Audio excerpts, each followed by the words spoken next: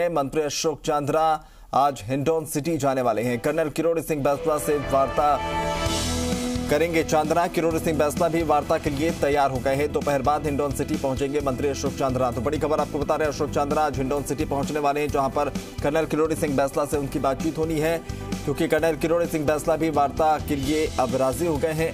किरोड़ी सिंह बैसला से बातचीत में आंदोलन को लेकर बीच का रास्ता निकालने की कोशिश होगी। आशीष हमारे संवाददाता ज़्यादा जानकारी के साथ फ़ोन लाइन पर हैं। आशीष, क्या माना जाए, आज जो बातचीत है, निर्णायक हो सकती है, कोई रास्ता ऐसा निकल सकता है जिससे आंदोलन जो है खत्म हो? क्योंकि सरकार बार बार आज खुद मुख्यमंत्री भी कह रहे हैं कि मांगे मान ली गई हैं।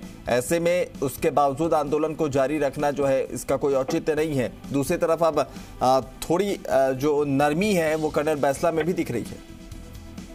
जी बिल्कुल। देखिए जो खेल मंत्री हैं अशोक चांदना वो पहले भी एक बार हिंडोन आके गए थे।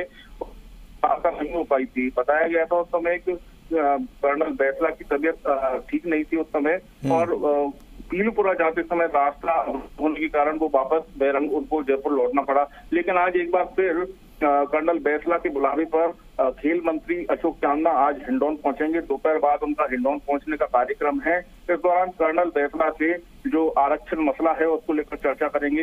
हो सकता है कि वार्ता में जो है सकारात्मक वार्ता रहे और कुछ समाधान निकल पाए। चलिए तो कोशिश यही है कि समाधान निकल पाए। अब देखने वाली बात ये होगी कि अशोक चांद्रा जब वहाँ पर पहुँचते हैं, क्या कुछ बातें लेकर आते हैं सरकार की तरफ़ से? जो रुख है वो तो स्पष्ट कर दिया गया है, लेकिन क्या जो बची हुई मांगे हैं उस पर सरकार अपना रुख स्पष्ट करती है, ये सबसे महत्वपूर्ण होगा। बहुत बहुत शुक्रिया तमाम जानकारी के लिए।